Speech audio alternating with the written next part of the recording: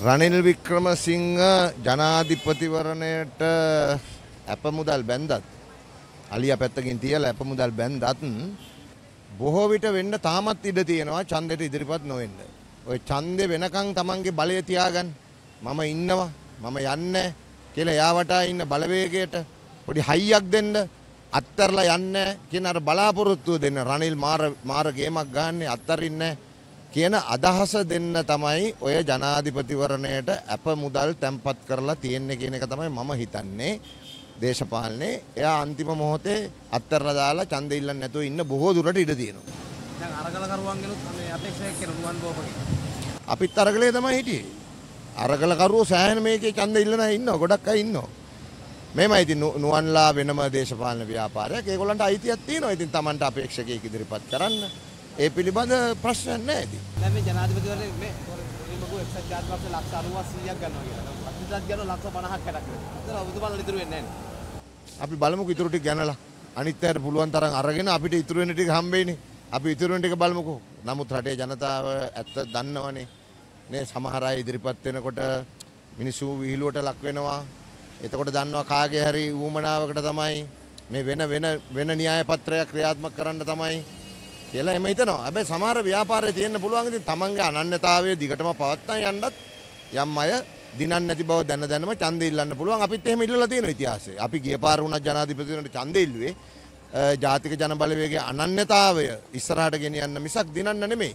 එහෙම උමනාවන්ගෙන් ඡන්දෙ දෙනා ඉන්න පුළුවන්. ඒක අයිතිය අපි පිළිගන්න ඕනේ. දැන් ඔබතුමාලා පෙරේදා හෙද සමුළුවක් කරා. දැන් නීතිය ගේන්න නීතිය රකින්න ඔබතුමාලා මේ ඇතිවරණ නීතිය කැඩුව කියලා චෝදනාවක් එන්නේ. ඔව් වෘත්තීය සමිති සමුළුවන්නේ තිබ්බේ. වෘත්ති සමිති සමුළුවකට තාම ජනාධිපතිවරණට ඉදිරිපත් වෙලත් නැති, අප මුදලුත් තම්පත් කරලා නැති, නිල වශයෙන් අපේක්ෂකයෙක් කියලා පිළිගත්තේ නැති, තාමත් නාම යෝජනා කතා වෙලා නැති වටපිටාවක් තුල තමයි අනුරු සහෝදරයා ඒකට ඇවිල්ලා අමතලා යන්නේ. අපි ඒකේ ලොකු වැරද්දක් දකින්නේ නැහැ. නමුත් මෙතනින් එහාට අපි කල්පනා කරනවා අනුරු සහෝදරයා මේකට නිල වශයෙන් ඉදිරිපත් වෙනවයි කියන එක අප මුදල් තැන්පත් කරාට පස්සේ එහෙම අවස්ථාවලට සම්බන්ධ නොවෙන්න. ඔබතුමාලා හිතනවාද ඒක නොවිය යුතු වර්ධිත කාරණයක් අනිවාර්යෙන් ජනාධිපති අපේක්ෂකයෝ අප මුදල් තැන්පත් කරපු අය එහෙම නොකළ යුතුයි. හැබැයි මෙහෙම දෙයක්ත් තියෙනවා. මොකද්ද? පළාත් පාලන ඡන්දය කල් දැම්මට පස්සේ එදා ඉඳන් අද වෙනකොනුත් මැතිවරණ සමයක් තමයි.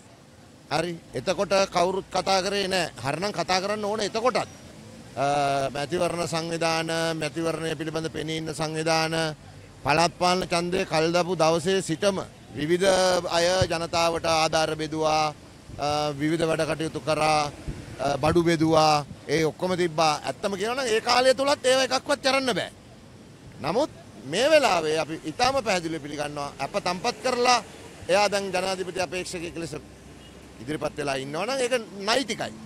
යම් නෛතික භාවයක් තියෙනවා ඒ නෛතික භාවය මේ වෙනකොට අත්පත් කරගත්ත අයට කොහොමත් බෑ ඒ නෛතික භාවය අපි තාම මේව කරලා නැතත් අපිත් එවැනි මැතිවරණ නීති සම්බන්ධයෙන් සැලකිලිමත් වෙලා ඒවාට ගරු කරමින් කටයුතු කරන්න කටයුතු සිද්ධ කරනවා. ඔබතුමා කරපු යම් ප්‍රකාශ මූලික කරගෙන ඔබතුමා පෞද්ගලික මේ මාර්ගකාවක් පරපත් කරා. දේශපාලනේ හැටි ඉතින්. දේශපාලනේ එහෙම තමයි. දේශපාලනේ කියන්නේ දෙපැත්තක් තුන් පැත්තක් හතර පැත්තක් තියෙන එකක්. ඒක සටනක්.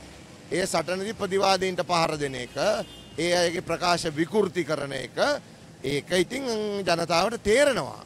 ඇත්ත තත්ත්වය මොකක්ද කියලා. ඉතින් ඒක කලබල වෙන්න ඕන දෙයක්වත් නෙමෙයි. ජයිපේ දැන දැන් කොහොමද ජාතික ජනබලවේගනේ තියෙන්නේ මාලිමාව. මාලිමාවට ජනතාව මිත්‍ර වෙලා තියෙන්නේ මේ වෙනකොට. දැන් මේ මේ අද සමුළුව දැක්කනම් කාටවත් පේනවා වෙනදා සමුළු මෙච්චර සාර්ථක නැහැ. අද ජනතාව දැන් මිත්‍රශීලී. තමන්ගේ ව්‍යාපාරයේ මාලිමාව. තමන්ගේ කර තමන් බය වෙන්නේ මොනවද? මේ අනුරට වඩා සයිත් මහත්තයා වැඩි කියලා කියනවා. ඔය ටික කියාගත්තා වේ. ප්‍රශ්න අනිවාර්යයෙන්.